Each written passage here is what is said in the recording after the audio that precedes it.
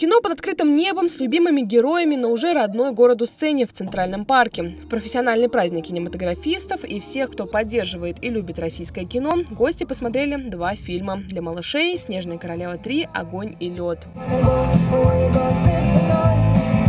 Для публики постарше комедия «Кухня. Последняя битва». Фильмы для разной аудитории, поэтому народу собралось немало.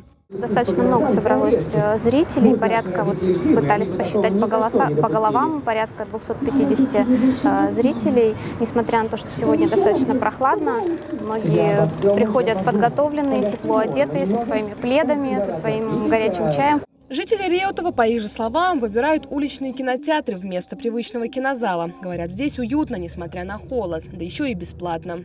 Мне же интересно, что на свежем воздухе, все вместе, что бесплатно.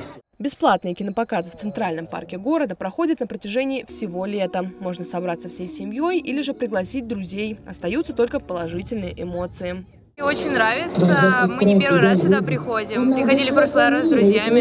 Тоже очень понравилось. Очень интересно, атмосферно. Следующий кинопоказ «Под звездами» состоится 2 сентября. Какой фильм посмотреть, выбирают сами зрители. Проголосовать или предложить свой фильм можно в группе ВКонтакте «Парки Реутова».